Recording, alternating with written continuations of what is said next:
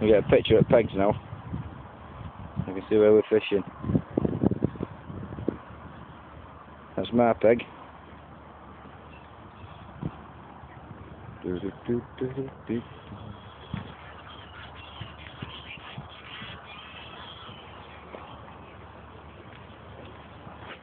There's Mike's peg.